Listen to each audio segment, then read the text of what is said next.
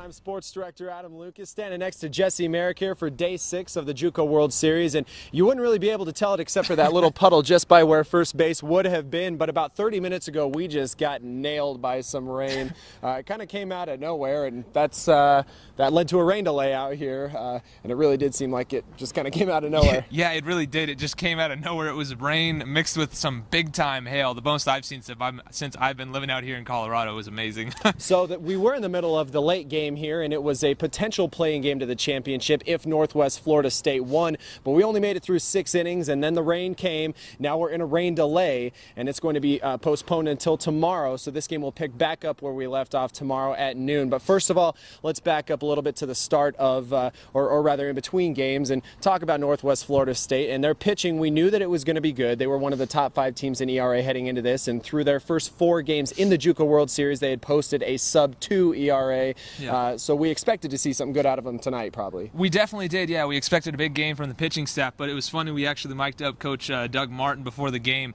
and he was also prepping his starting pitcher and maybe a pitcher for the future. Check it out. What's up, dude? Where you been, man? Uh, baseball practice. How'd it go? Good. You getting ready for the tournament? Yeah. Kimbrel.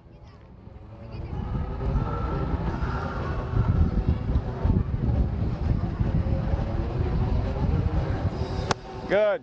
Kershaw.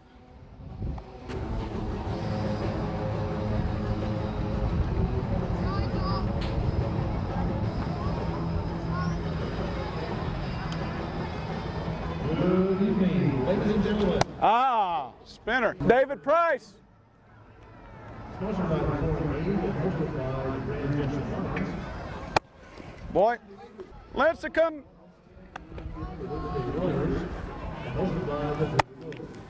Uh, Jordan Walden.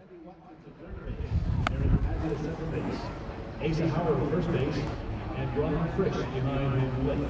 Ah! That's why we don't do him. Wild. We know you ain't gonna give us nine. We don't expect that, but I'd like to be out there to see you pitching in about that fifth or sixth. If you've done that, then you've done your job. It says I can't go down. Right, nobody said you can't. All right, you you can prove me wrong. You want to do that? You like proving me wrong? Then Oh, prove me wrong. Love it. Go do it then. And we started off our second game of the day with Challenger Baseball singing us Take Me Out to the Ball Game. That's a JUCO staple right there.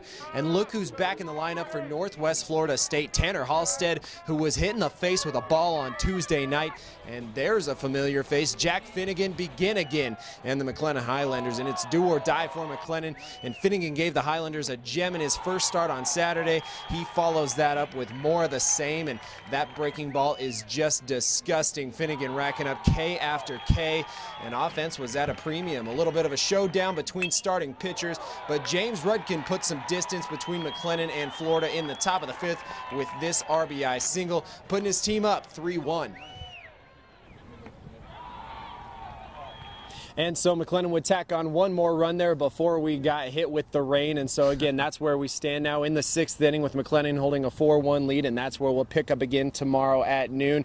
And uh, I guess that takes us to the first game of the day. Now, that was an elimination game between Chattahoochee Valley out of Alabama and Walters State out of Tennessee. Two teams that have put up a lot of runs on the board. Yeah, exactly. Especially that Walters State team. I mean, the home runs left and right every time we see them out on the field. It's amazing. And the Chattahoochee Valley team we, we talked about just runs through walls for their coach. Well, one thing that we've seen out of Walters is three, four, and five in their lineup. I believe it's uh, Osuna, Grosvenor, and then Jarrett Hood, Hood. yes. Those three guys can smack the ball, and they weigh probably a combined 600 pounds, At and it's pure muscle. So uh, those guys, we, we expected to see a slugfest, and uh, they didn't disappoint. Here are those highlights.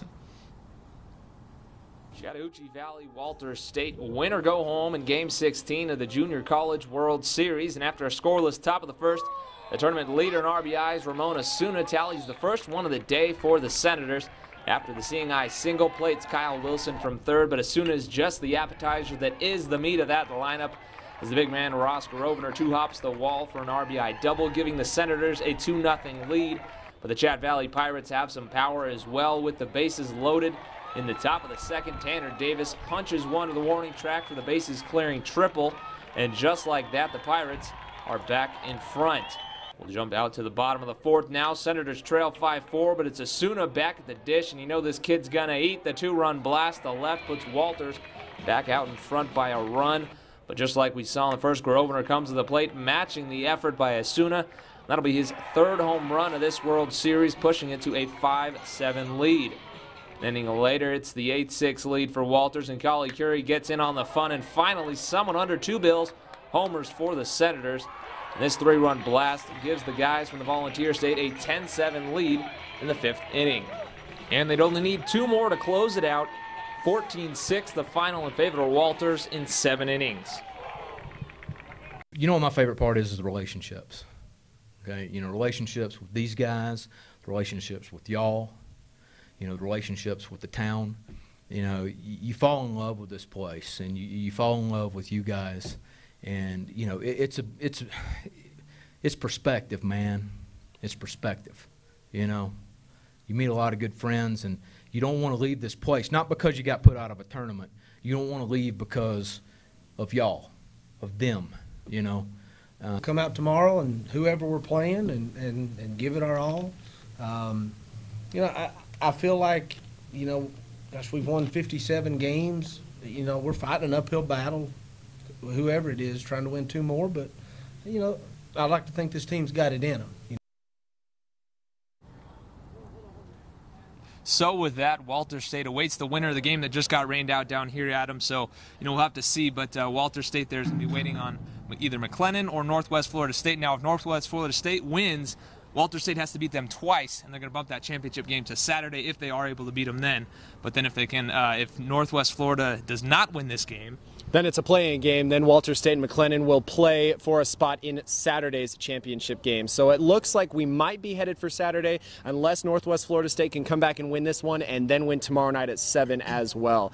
Now, also some news in the NFL, some bad news for the Denver Broncos. All pro left tackle Ryan Clady has reportedly torn his ACL. Multiple reports coming out of Denver today mm. saying that he will likely miss the remainder of the season. And we haven't even gotten started in the season, so he was just doing a, a pass block drill in OT OTAs, and it sounds like his knee buckled. So that's a tough loss for Denver. Yeah, it's another offseason casualty. You always hear about these things happening, and, and it's really tough to see a guy like Clady go down again. You know, he suffered from that Lisfranc injury as well, so tough to see that happen.